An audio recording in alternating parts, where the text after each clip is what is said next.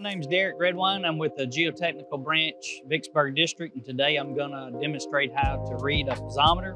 Um, so one of the things that we need to understand about a piezometer is a piezometer is typically a small diameter well uh, that will tell you the pore water pressure in a specific location.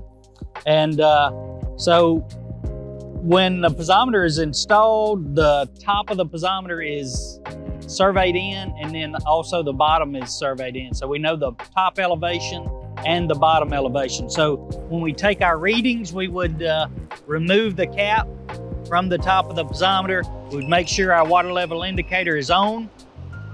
The uh, indicator would go in top in the top of the piezometer and then it would go down until it hits the water. When it hits the water, it's gonna beep. When it beeps, we're going to take a reading. Um, and so our reading on the tape will be subtracted from the top of riser elevation, and that's gonna give us the water surface.